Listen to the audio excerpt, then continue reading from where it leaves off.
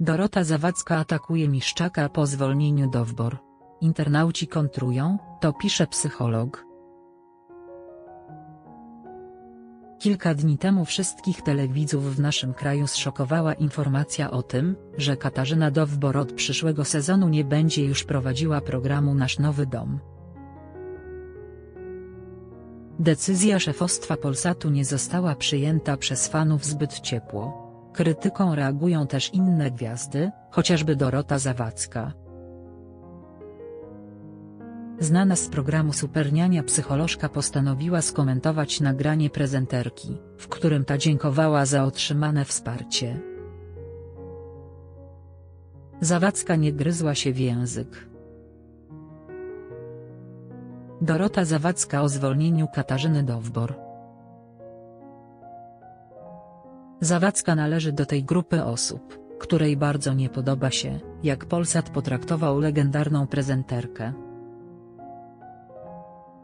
Zwróciła się do niej bezpośrednio, podkreślając jej kunszt dziennikarski. Przy okazji zaatakowała także nowego dyrektora programowego stacji, który prawdopodobnie jest odpowiedzialny za decyzję o odejściu do WBOR.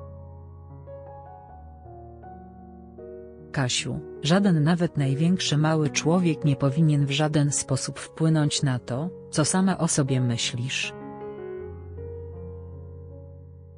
Jesteś świetną dziennikarką i fantastycznie prowadziłaś program, który ja także bardzo lubiłam.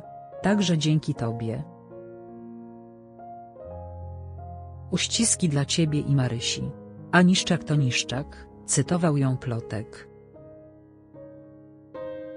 Dorota Zawcka skrytykowana. Choć w temacie zwolnienia Dowbor padło już wiele stanowczych słów, mocny komentarz Zawadzkiej oburzył niektórych internautów. Jedna z użytkowniczek dobitnie dała jej znać, że taka odpowiedź jest nie na miejscu i to tym bardziej autorstwa psycholożki. Można się nie zgadzać z decyzją, można być nią oburzonym, ja tej decyzji też nie rozumiem, ale żeby od razu poniżać i umniejszać drugiego człowieka. I to pisze psycholog. Niewiarygodne, czytamy pod nagraniem Dowbor.